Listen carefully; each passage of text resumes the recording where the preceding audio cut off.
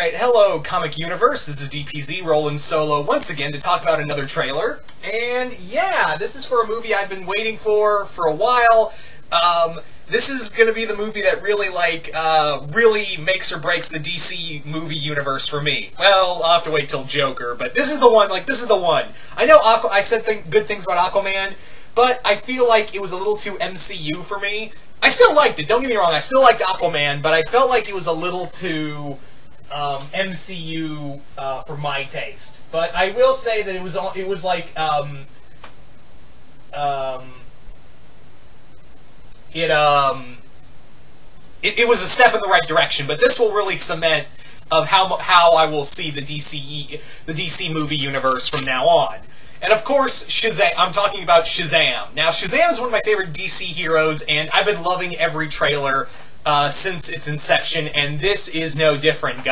Guys, this move, this trailer, once again shows to me that um, this series is just this movie. Why am I saying series? This movie is just nothing short of awesome. This trailer has once again shown to me, and I know I've seen some complaints like, "Oh, it's a little too, it's too, it's it's too for kids." I'm like, then congratulations, you don't get the character of Shazam if you know, I've seen a lot of major DC fans, especially major Shazam fans like myself, who have looked at this trailer and went, "Yeah, every trailer we've seen is the embodiment of this character." Um, every trailer I have seen for this movie has just been shown again and again and again that they, you know, the director of this film and everyone behind it gets this. Zachary Levi is so great as playing a a child in a man's body. Um, I really digged it. You know, I'm really digging it. And I also like all the, speaking of digs, I like the little digs at the, um, I really like all the little digs they have at, um, the, uh, DCE, at the DC film so far. Like, that, like the moment where Shazam's playing with his powers and he nearly destroys a bus and he saves it, he's like, where and Freddy comes up to him. He's like, "Dude, you nearly, you know, you stopped a." I st he's like, "Dude, I saved a bus." He's like, "Yeah, one that you nearly destroyed and threw off the road." And he's like, "Yeah, but I caught it." So I'm already seeing like what the film is going to be. Is that it looks like what it's going to be about is that um, Billy um, gets the powers, and it looks like he may misuse them or not fully understand them. And it's going to be him learn, you know, learning the power, you know, a power and responsibility kind of deal. It's very much him learning power and responsibility. And I'm I'm all for that. It's a story we've all seen with a lot of superheroes, including one that that crawls up walls. So you know, we all know that story. But I think it's a you know the whole power and responsibility thing is perfect for Shazam. Again, we've seen it with superhero you know with multiple superheroes before, but I think it works um, for Shazam because again, it's a kid living out a superhero fantasy. Uh, so it's you know it's the perfect guy to use it on. Uh, we also get to see more of Dr. Sivana in here. Um, I know some people are like, why is Dr. Sivana flying around and punching people? Well, isn't he supposed to be like Luthor level genius? And that's true, but I think they're going a little more of what the Je what Geoff Johns did in the New 52. So I think that's what they're going to be. I think that's the case is that they're going to be um, following that motif and probably building up to Black Adam. And also, it makes me wonder of like. Um, also, let me talk about something real quick. Um, Funko guys, you you really spoiled this. I will say that the trailers are really good at not spoiling anything. You know, not pulling a Sony and giving us the last scene, hopefully, um, in the film and make giving out a major spoiler.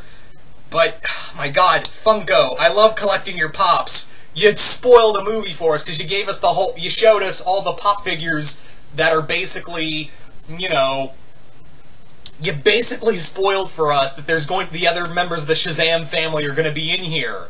Oh my god, I would have preferred to have seen that in the see that in the movie and get surprised by that because that seems like, but whatever. All right. Thanks, Funko. I'm still going to collect the pops, by the way. I'm also probably going to um, collect a pop, uh, you know, a Shazam pop because yeah, Shazam's one of my favorite DC characters, so of course I'm going to want to collect it. And I'm so excited for this movie, so of course I'm going to want to collect one. Anyway, um, I also like some of the jokes in here. Zachary Levi, and I'm, I'm forgetting the actor's name for Freddy, uh, for Freddy Freeman.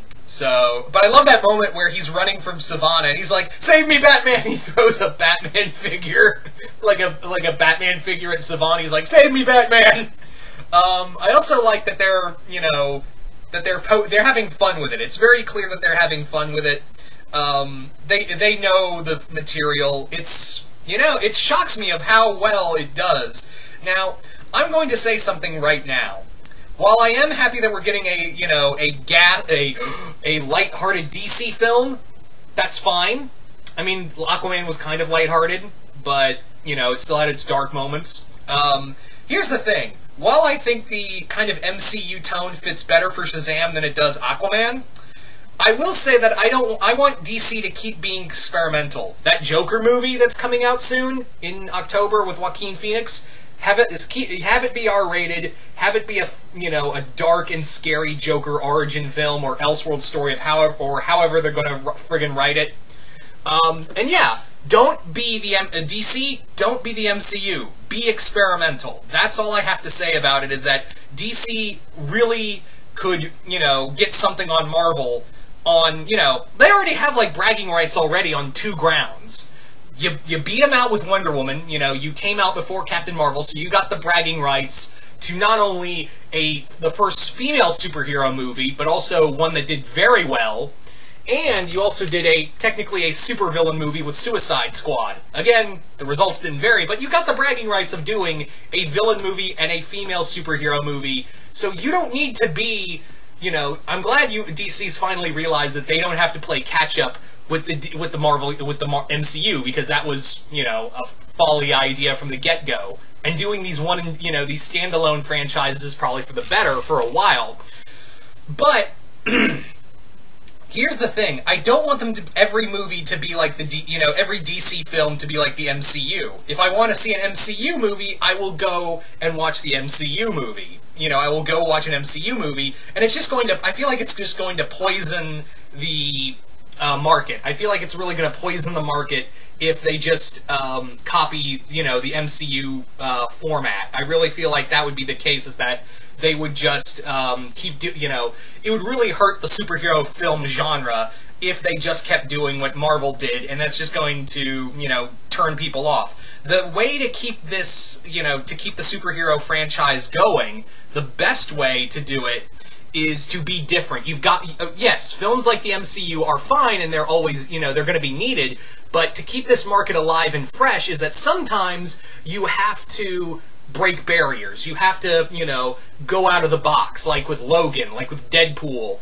um, like uh, like with Wonder Woman, like with um, so many other films. And I hope D and this Joker film again, this Joker film. You're doing again. You're DC. You're doing another um, supervillain movie. Yeah, again, something Marvel hasn't done. So do that. That's you know that's how I think DC is going to get the edge on Marvel. Not saying that they're going to beat Marvel in the box office. I'm not saying that. What I'm saying is to keep them different from Marvel and to keep people in the seats for a DC movie. All I'm saying is to survive against Marvel, you have to be different. I'm not saying they could beat Marvel because at this point they've got it down to a science. So DC, the best chance they have to compete with Marvel is to think outside the box every so often you know, just think, keep thinking outside the box, keep, um, you know, experimenting with films. You know, you could do another super, you could do a superhero horror movie with like, you could do, well, uh, you're already doing a horror show with Swamp Thing, and you know, you're bringing back Constantine for a show, so maybe. I don't know, do a House of Secrets movie, or a Legion of Doom movie, or something of that degree, you know. Something like that would be cool. Um, you know, this Batman movie is going to be like a crime noir story. I'm totally down for that. I'd be fine if it was even an R-rated Batman movie. Um, so yeah, that's all I'm saying. Am I excited that, you know, this is going to be like a fun superhero movie with Shazam? Yeah, because that fits with the tone of Shazam. A dark and gritty Shazam, I would have been completely turned off. But thankfully, that is not the case of what we, we've got here. So there you go. So anyway, guys, uh, you guys tell me in the comments below, what did you guys think of this trailer for Shazam? And sorry for that little rant, but I feel like I just need to say that. Anyway, so yeah, did you guys like the trailer? Did you guys hate the trailer? Comment below, let us know. And if you're new here, remember to Hulk smash that subscribe button and be a part of Earth's Mighty subscribers. Also, remember to go back a few videos and check out our giveaway for Detective Comics number 1000. Check out the rules, and you may get a copy of that of a variant cover. Anyway, once again, hope you all enjoyed this, and we will see you right here in the universe.